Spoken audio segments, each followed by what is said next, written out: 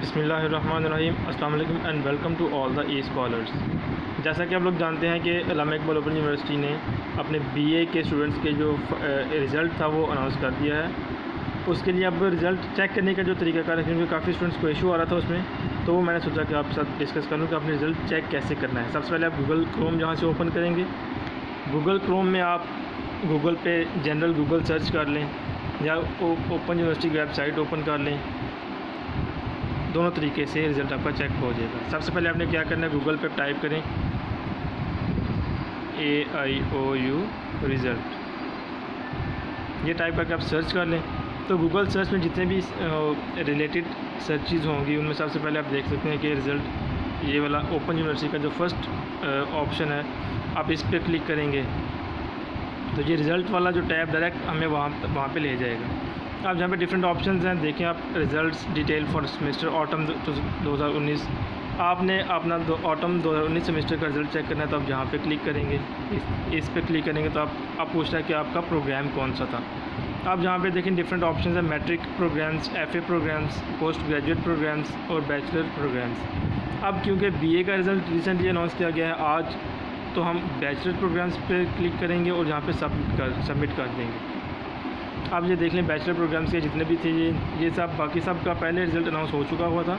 अभी सिर्फ़ बीए का जो सबसे टॉप पे जो मार्क्ड है बीए का रिज़ल्ट है, वो अभी जो है, वो हमने इसका रिज़ल्ट चेक करना था। आप अपने बीए सिलेक्ट किया था, अब अपना जहाँ पे रोल नंबर एंटर करें, जो भी आपका था फॉर एग्ज़ाम्पल जो भी आपका रिज़ल्ट होगा, आप जहाँ पे इस कॉलम में अपना रिज़ल्ट एंटर करेंगे, ठीक है?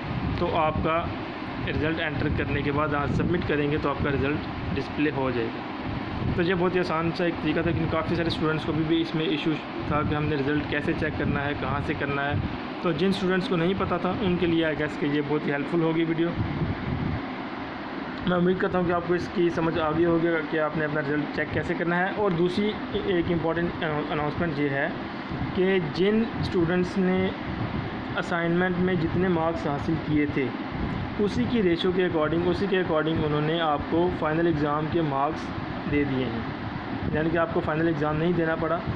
डायरेक्ट आपने, आपके जो असाइनमेंट के मार्क्स थे, जो आपने ऑटम सेमेस्टर के दो असाइनमेंट्स चार जमा करवाई थी अपने ट्यूटर्स को ट्यूटर्स ने जितने आपके मार्क्स लगाए थे, उन मार्क्स के एस अकॉर्डिंग जो उन्होंने आपके फ़ाइनल एग्ज़ाम के मार्क्स लगा दिए। रेशो को अपने कैलकुलेशंस करके। तो उस बेस पे आपके फ़ाइनल मार्क्स लग अब आप यहाँ से रिज़ल्ट ओपन करके अपना रिज़ल्ट प्रिंट भी कर सकते हैं, चेक भी कर सकते हैं। रोल नंबर आपने अपना एंटर करना है तो आपका रिज़ल्ट डिस्प्ले हो जाएगा। तो ये बहुत ही आसान सा तरीक़ेकार था। So thank you very much next video तक के लिए अल्लाह हाफिज़। मेरे इस चैनल में अगर आप नहीं हैं तो इसको सब्सक्राइब करें और बेल आइकन को प्रेस करें। अल्लाह हाफिज़।